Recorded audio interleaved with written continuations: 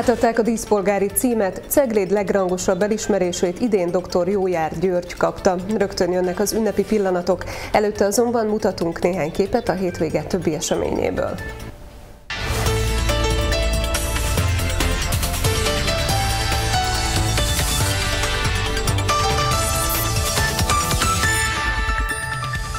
Látványos felvonulás, gyerekprogramok és koncertek, idén is népszerű volt a Kossuth toborzó.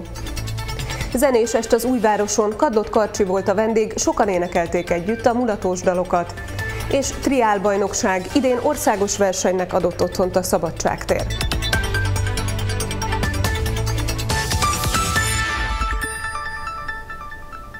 Jó estét kívánok, üdvözlöm Önöket a Városi Televízió hétfői híradójában.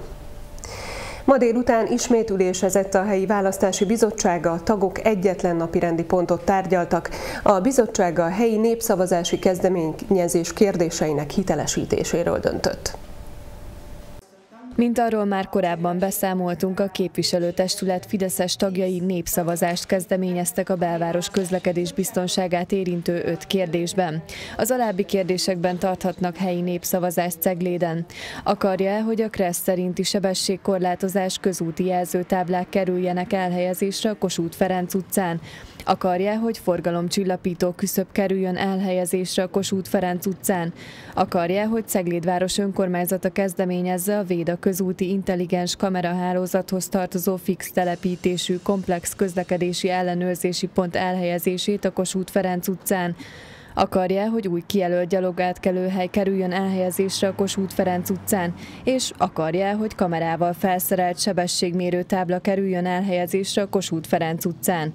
A helyi választási bizottság mai ülésén hitelesítette a kérdéseket. A jelenlévő öt tagból négyen igennel szavaztak. A Cigle Egyesület delegátja, dr. Horváth Géza pedig mind az öt kérdésre nemmel szavazott.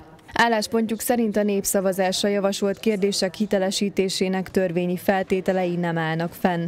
A népszavazása referendum intézménye, a polgároknak a város sorsát érintő legfontosabb ügyek eldöntésében való részvételét biztosítja. A Kossuth Ferenc utca forgalmi rendjét érintő kérdések, illetve azok eldöntése nem népszavazási döntés. A város közútjainak forgalmi rendjének kialakítására és az ennek kapcsán lefolytatandó közlekedés hatósági eljárásokra jogszabályi rendelkezések az irányadók, melyek érvényesítése a forgalmi rend kialakítására jogosult döntéshozó szerv feladata és felelőssége, mondta dr. Horváth Géza. Átadták a díszpolgári címet, idén dr. Jójár György vehette át Ceglédváros legnagyobb elismerését. A kitüntetést a dísztestületi ülésen adták át. Az oklevelet és az aranygyűrűt Takács László polgármester és Hegedűs Ágota alpolgármester nyújtotta át az ünnepelt részére. A város legnagyobb ünnepén tartja minden évben díszülését Ceglédváros képviselőtestülete. Az ünneplőket Takács László köszöntötte. A polgármester úgy fogalmazott, különleges délután ez. A város egyik legszebb napját ünnepeljük. Azt a napot, amikor Kossuth ide látogatott Ceglédre. Nekünk ez azért különleges, mert Kossuth hagyományát méltóképp őrzi a város, mondta. Különleges másért is, azért, mert ezen a napon van a város legnagyobb díjának, a város díszpolgári címének az átadó ünnepsége. Ez ma is így lesz. Jó együtt lenni ilyenkor, hiszen tudjuk, hogy egy város erejét a helyi emberek, a helyi közösségek ereje adja meg. És én úgy érzem, hogy ennek a városnak nagyon szép és komoly hagyományai és nagyon erős kötelékei, közösségei vannak.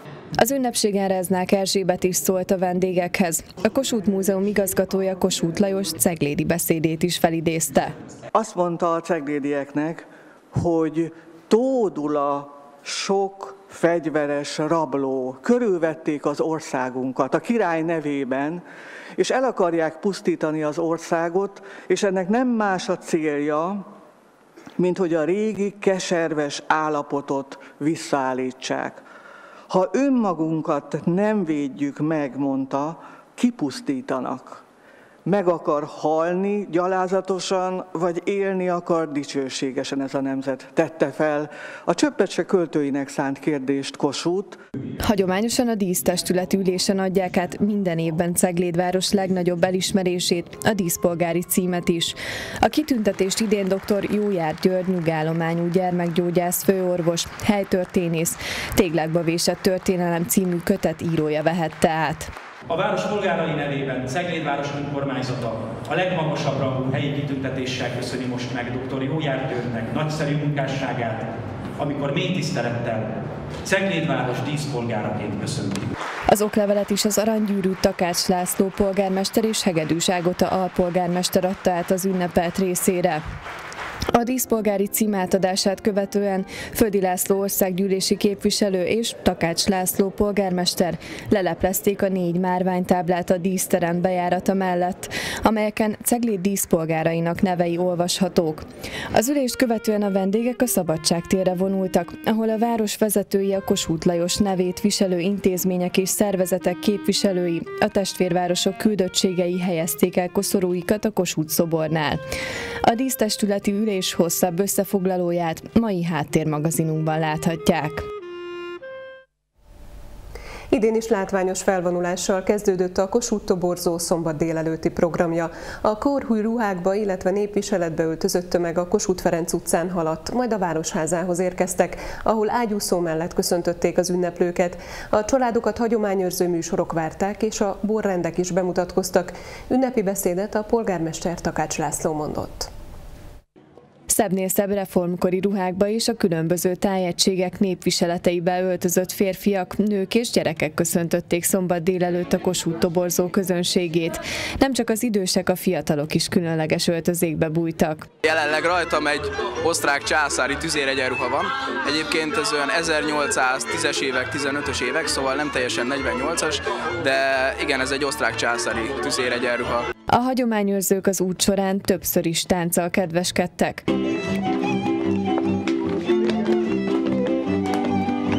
A hagyományőrző lovasokkal, honvédekkel, tüzérekkel, cserkészekkel és különleges kerékpárosokkal kiegészült tömeg a Városháza elé érkezett, ahol ágyúszóval is köszöntötték az ünneplőket, majd elhangzott Kossuth toborzó beszéde is. Hozzunk áldozatot a haza szent oltárán. Ha magyar vér folyik, folyjon a szabadságért, ne idegen célokért, és ne idegen földön. A családok is szívesen látogatják a fesztivált. Mi itt lakunk a közelben, és úgyhogy mi tehát az egész részével, tehát ott van mellettünk rögtön, és vele azonosulunk.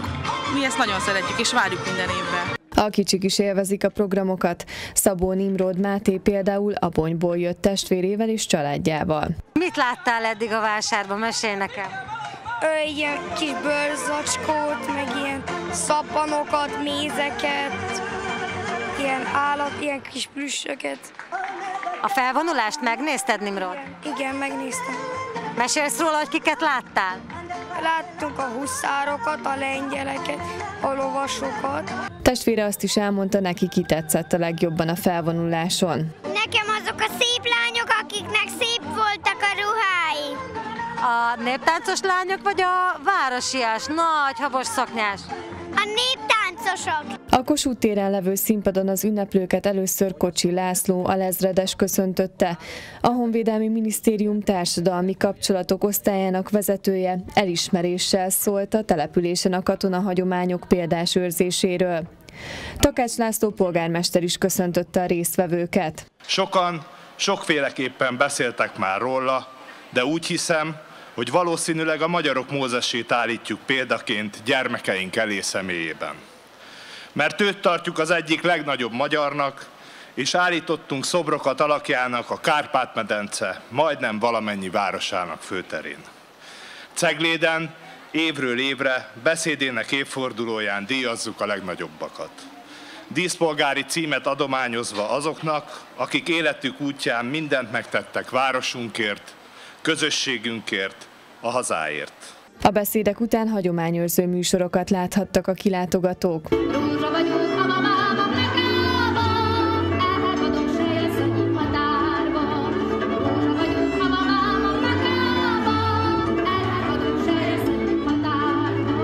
ünnepi délelőttön a borlovagok is a színpadra sorakoztak, illetve röviden bemutatkoztak a különböző borrendek. A rendezvényen kirakodó vásár, állatsimogató, finom ételekkel teli ízek utcája és gyerekprogramok is várták a kilátogatókat. Továbbá idén is lehetett jelentkezni a szakámustrára. Több ezres tömeg várta a Kossuth toborzó fellépőit, Rúzsa Magdi és a Quimby is színpadra állt. Az együttes most adott először koncertet Cegléden, és mint mondták, fantasztikus volt a közönség. Pénteken a nagy színpadon Rúzsa Magdi adott koncertet. A Máté Péter díjas énekesnő dalszövegíró a Megasztár című tehetségkutató műsorának harmadik győzteseként vált ismerté.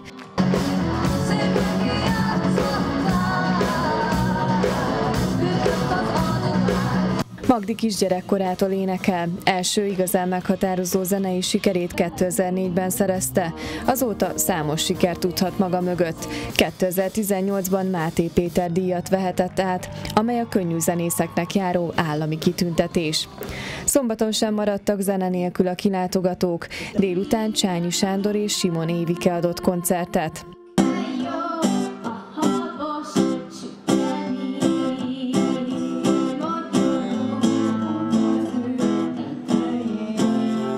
Utánuk a Living Room zenekar következett.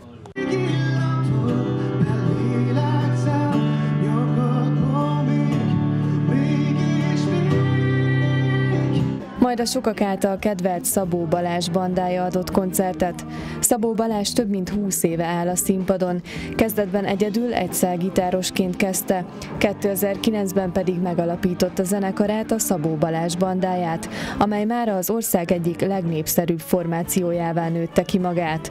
Dalaikban ötvözik a magyar népzenét a könnyű zene válfajaival.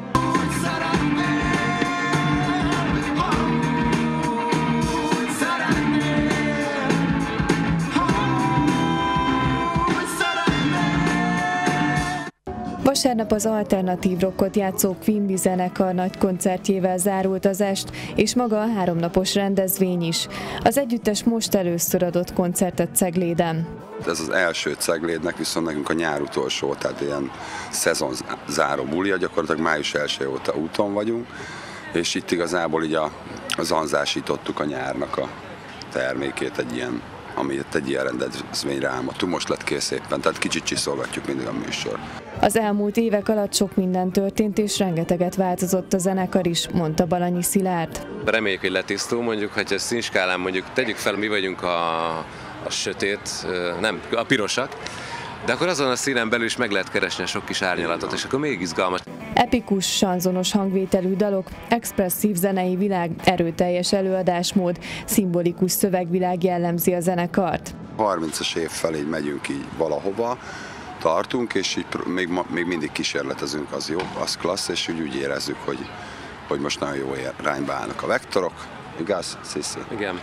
A formáció 1991-ben alakult Dunaújvárosban. Ceglét testvérvárosa Sepsi Szentgyörgy mutatkozik be a Művelődési Központ Kamara galériájában. Az erdélyi településről készült fotókból, illetve a város művészeti értékeiből nyílt kiállítás. A tárlat kiváló lehetőség arra, hogy Cegléd és Sepsi Szentgyörgy még szorosabbra fűzze a kapcsolatát, fogalmazott a megnyitón Hegedűs Ágota alpolgármester. Sepsi Szentgyörgy nevezetes épületei láthatóak fotókon a Kamara Galériában nyílt kiállításon. Az erdélyi város Kovászna megye székhelye, Ceglét testvérvárosa. A két település nagyon jó kapcsolatot ápol. A mostani kiállítás pedig egy újabb lehetőség arra, hogy megismerjük egymás kultúráját, értékeit, mondta köszöntőjében az alpolgármester Hegedűs Ágota. Sepsi Szentgyörgy gazdag kulturális élettel bír, kiemelten fontosnak tartják a civil szervezetek támogatását. A népzene, néptánc mellett a képzőművészetben is maradandót alkotnak. Ebből is láthat ízelítőt a kiállítás közönsége. A megnyitón Nagy Zoltán Sepsi Szentgyörgy kulturális és tanügyi igazgatója elmondta, öröm elhozni egy szeletet az erdélyi város hangulatából.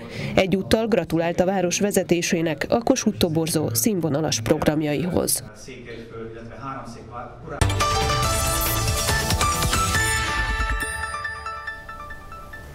Ismét élettel telt meg a Vörös Marti tér. A népszerű mulatós sztár Kadlott Karcsi volt a vendége az újvárosi zenés esték idei utolsó programjának. Most is nagyon sokan szórakoztak együtt, gyerekek, szülők és nagyszülők közösen énekeltek. A zenés esték a legnépszerűbb esemény az újvároson. A programot évek óta támogatja az önkormányzat és a kerület képviselője ifjabb Károly Ferenc.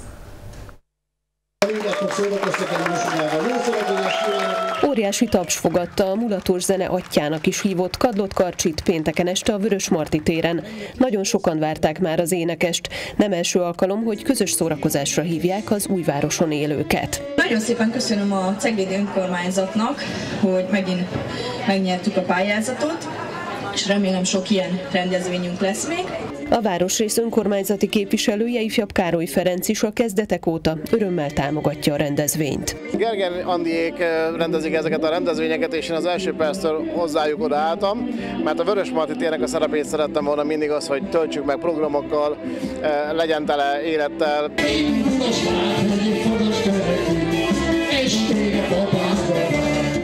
Karcsi sokak kedvence. A 70-es, 80-as években volt a legismertebb, rengeteg kazettát adott el.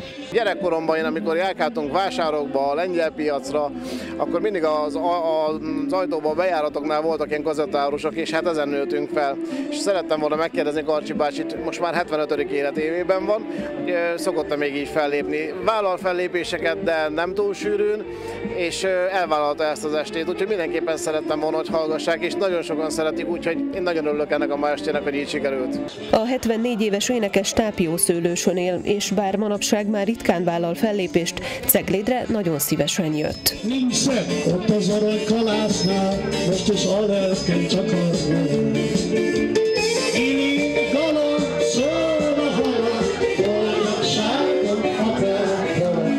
lakodalmas és mulatós dalokat a szülők és nagyszülők mellett sok gyerek és tizenéves is énekelte. Az újvároson gazdag közösségi élet van. Itt rendezik a városi gyereknapot, helyet adnak a picúr futamnak, de majál is, és sok-sok sportprogram is várja a ceglédieket. A mostani újvárosi zenésest volt az idei utolsó. A szervezők remélik, hogy a jó hangulatú programok sora folytatódhat a jövőben.